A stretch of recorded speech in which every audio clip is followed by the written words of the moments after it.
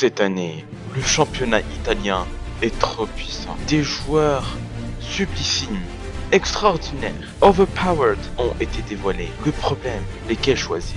Vais-je choisir Ibarbo dans l'attaque? Non Parce qu'il y a mieux. Buffon, gardien Non Parce que ses réflexes, c'est la merde Vais-je choisir Balotelli? Non. Et pourquoi? Parce que je cherche la cheap beast. C'est pour cela. Donc, voici ultime.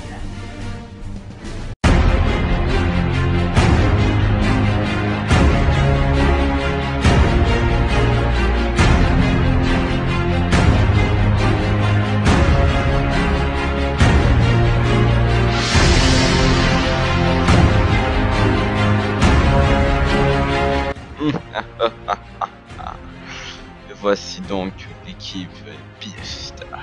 Eh bien les amis, nous nous retrouvons dans quelques instants pour vous montrer ce que c'est destruction. Heureux les amis. Bon, là, un peu de sérieux. On va pas faire notre petit gamin. Là, je vais vraiment pas aller des joueurs. Alors, euh, en fait, d'abord, euh, je pense que je vais créer cette série euh, de Like the Beast. Comme ça, je fais des équipes qui sont très très fortes et pas forcément très chères.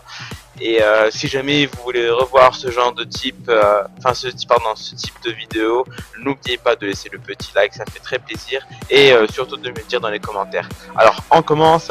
D'abord, pourquoi j'ai choisi Marquetti? Donc, comme j'avais dit précédemment, Buffon, il est bien. C'est une légende à Juventus, mais je préfère largement Marquetti parce que vous voyez, les réflexes c'est très important quand on est un, euh, quand il y a deux joueurs, enfin un, un contre un.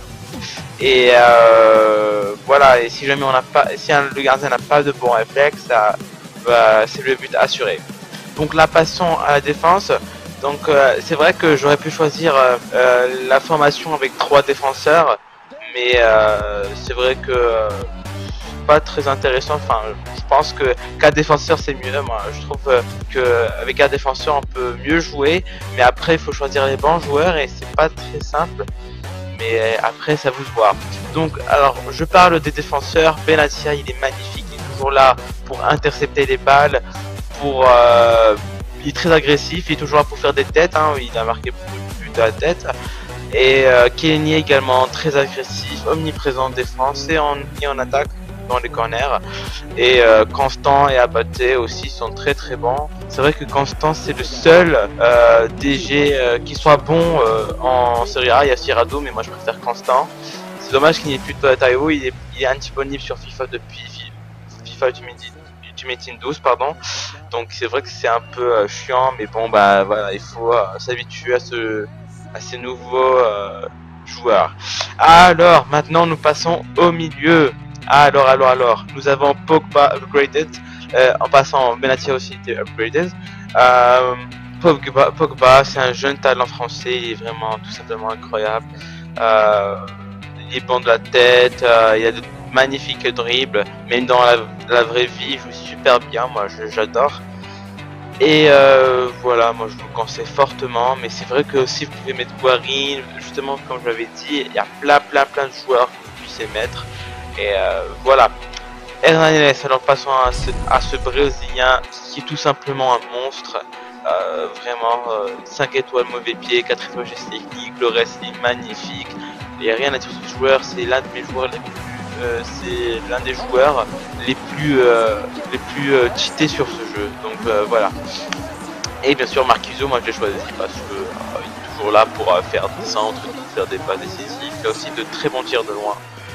Euh, voilà, mais après vous pouvez choisir Vidal, il y a Nainggolan, il y a plein plein plein plein de très bons joueurs en série A. Et bien sûr l'attaque, bon j'ai mis un psych euh, parce qu'il moi, je trouve qu'il a une bonne force et tout. euh, donc, euh, voilà. Et euh, en attaque, euh, bah, j'ai Gomez. Alors comme vous l'avez vu, il vient de détruire tout le monde. C'est euh, incroyable comment il est fort ce mec. Même l'année dernière, j'avais marqué plein plein plein de buts avec lui.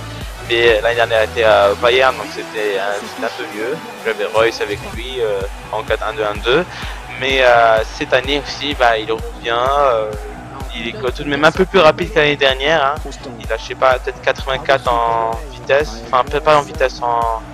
Stop Je sais, Gomez est en train de donner raclée. Mais on s'en fout Et euh, Vucinic aussi, il est super bien, vraiment il n'y a rien à dire sur ce joueur également. Bon bah les amis, c'était ça pour cette vidéo. Si, ça si, si vous a plu, n'oubliez pas de laisser le petit like, ça fait très très plaisir. Et on se retrouve pour une prochaine fois pour une vidéo. Allez, bye bye